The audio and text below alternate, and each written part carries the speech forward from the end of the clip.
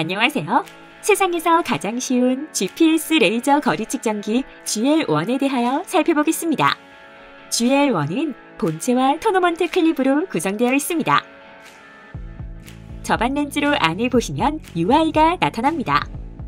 UI에는 홀 안내, 실측거리, 보정거리, 미터, 야드 측정 단위, 좌우측 벙커, 해저드 초입 거리, 목표 조준점, 고저차, 모두 변환, 배터리 잔량의 정보를 쉽게 확인하실 수 있습니다. 함께 포함되어 있는 토너먼트 클립이 무엇인지도 궁금하시죠? 본체 발광부 하단에 클립을 부착하면 보정거리 없는 직선 거리만 표시됩니다.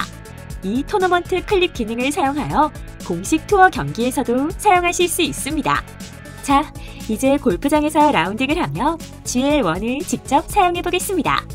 GPS 수신을 위해 클럽하우스에서 나오셔서 tee box로 이동하면서 GL1의 전원 버튼을 켜주시면 GPS 수신이 활성화됩니다.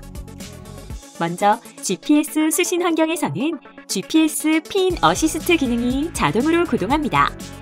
GPS pin assist 기능은 GPS 데이터를 이용하여 그린 뒤에 주변 장애물들을 제거하고 핀까지의 거리를 정확하게 측정합니다.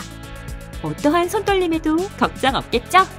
목표 지점까지의 거리, 벙커 및 해저드 front까지의 거리를 확인해 보세요.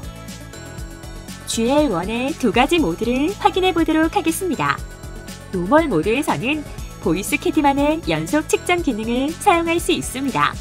전원 버튼을 누른 상태에서 GL1 거리 측정기를 움직이게 되면 주변 지형지물까지의 거리 측정이 가능합니다. normal 모드에서 모드 버튼을 누르면 핀 모드로 전환됩니다.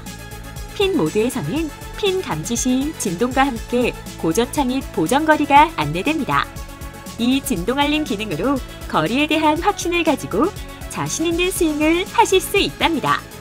세상에서 가장 쉬운 GPS 레이저 GL1과 함께 즐거운 라운딩 되시길 바랍니다.